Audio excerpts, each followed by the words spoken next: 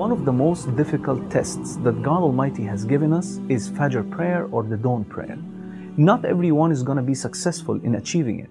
It is so difficult to such an extent that the Prophet Muhammad, peace be upon him, makes it the standard by which a believer and a hypocrite shall be distinguished.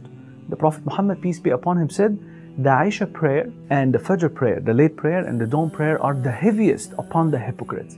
And if they knew, if they knew the rewards awaiting them upon performing these prayers, they would go to perform them even if it meant crawling. As we speak now, my brothers and sisters, there are many Muslims who doesn't have the intention to wake up for Fajr tomorrow.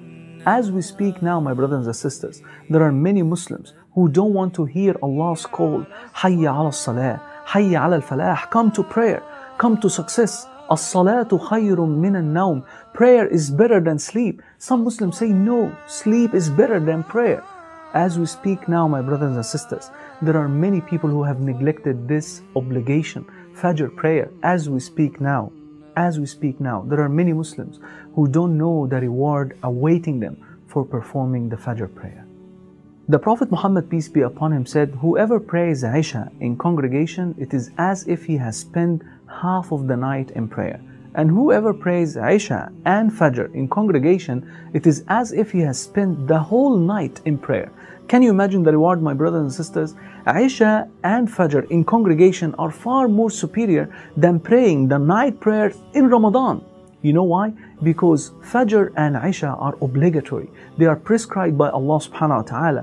Where the night prayer, whether in Ramadan or outside Ramadan, they are just optional. You may do it and gain reward, of course, but if you didn't, there is no harm. But if you missed Fajr, if you missed Isha intentionally, then you are in trouble. We know that on the day of resurrection, the sun will be folded up with darkness. The stars will fall and lose its light. The situation will be so tough, my brothers and sisters, except on the believers who does certain acts while they are alive in this world. They will have complete light to guide them on the straight path that is leading to paradise. One of these acts is walking to the mosques in the darkness. The Prophet Muhammad, peace be upon him, said, Give good news to, to the believers who walk to the mosques in the darkness that they will have a complete light, a full light on the rising day. That's why the Prophet Muhammad, peace be upon him, used to make a supplication.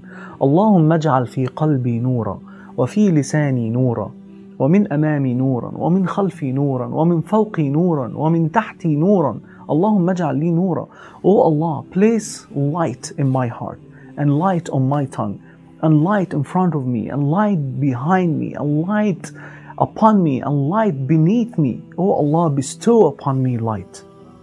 The reward of Fajr prayer is not only related to the obligatory. The Prophet Muhammad, peace be upon him, said, Rak'ata al-Fajr khayrun min ad-dunya wa fiha. That the two rak'ah performed right before the obligatory prayer of Fajr is better than the whole world and what is in it. Can you imagine, my brothers and sisters, how big the reward is? And let us reflect over this for a while. What prevents you from waking up and performing Fajr? Isn't it worldly matters? Whether you have stayed all night watching TV or that you did not want to wake up early because you have got work at 9 a.m. or worldly matters. But look at what the Prophet Muhammad, peace be upon him, said. He said that these two rak'ah, the optional prayers, are better than the whole world and what is in it. Don't you want to attain that honor and obtain that beautiful reward?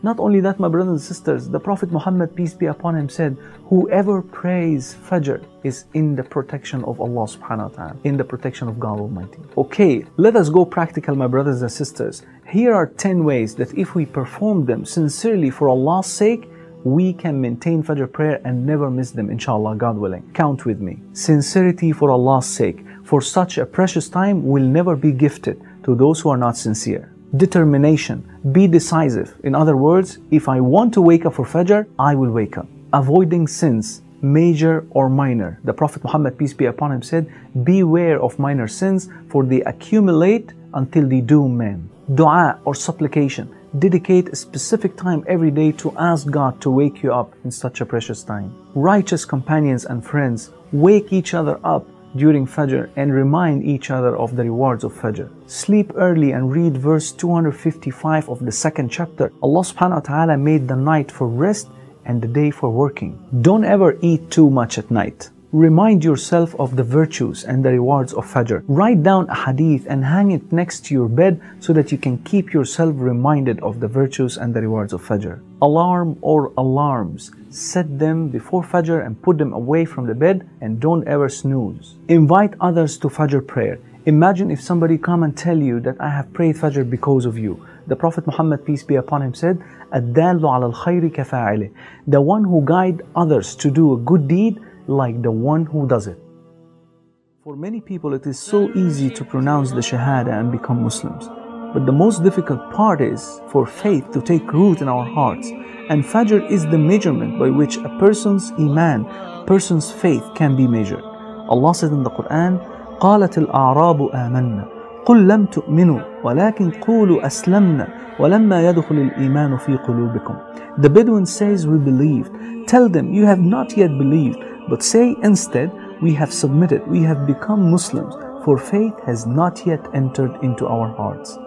My brothers and sisters, the truthful and the liar, the Muslim and the hypocrite, the believer and the disbelievers, they will be mixed up to such an extent that you will not know whether he is a believer or merely a Muslim. So ask yourself now, yes, I mean it, right now, am I a merely Muslim or a believer Muslim, mu'min? If the answer is yes, I am a Muslim, I am a mu'min, a believer, then forsake your bed quickly, return to Allah in repentance, and wake up for Fajr.